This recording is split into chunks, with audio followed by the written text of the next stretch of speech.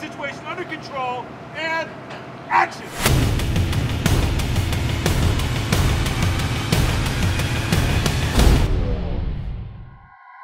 This story is fun and exciting and a mile a minute.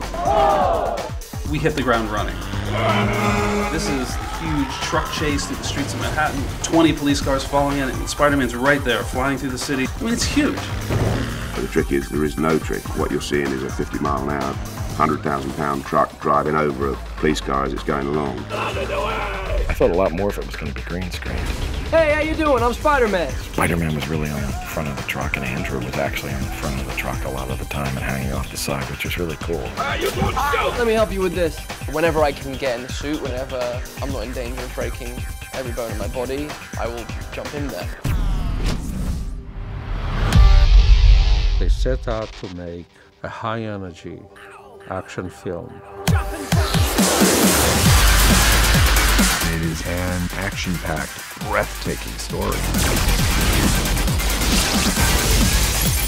So there's going to be a little bit more action in this movie. There's going to be along for a ride.